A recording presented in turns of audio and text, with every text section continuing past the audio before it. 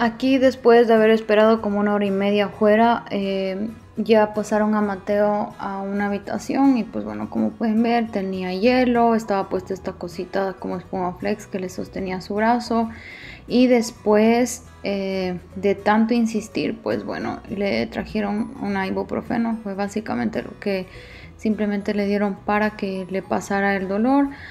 Aquí estuvo durante más o menos como alrededor de unas yo le calculo como unas dos horas y media más o menos hasta esperar de que le hagan todo.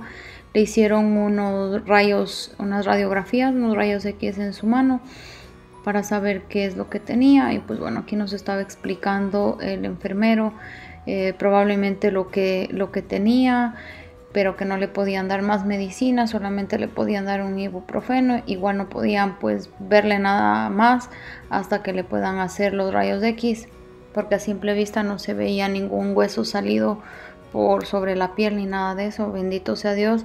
Y eh, tuvimos que esperar aquí hasta que trajeran las máquinas para que le den este, para que le hagan sus, sus rayos X. Pero realmente la espera aquí fue no tienen idea demasiado tiempo que tuvimos que esperar fue demasiado demasiado tiempo no no le deseo a nadie realmente los cuartos de emergencia aquí no son como uno se imagina. Uno piensa que le van a atender súper rápido y no, no es así. Bueno, en mi caso no fue así.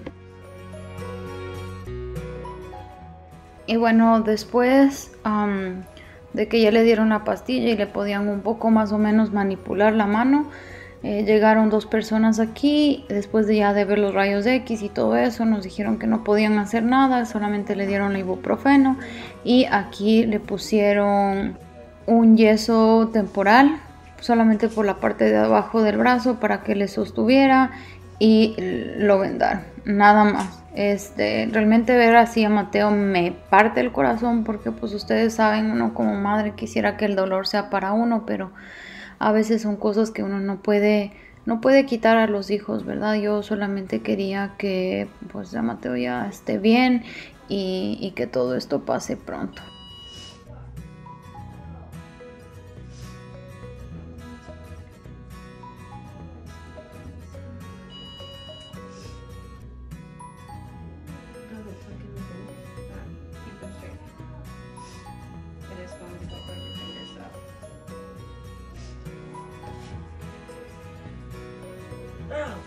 Thank you.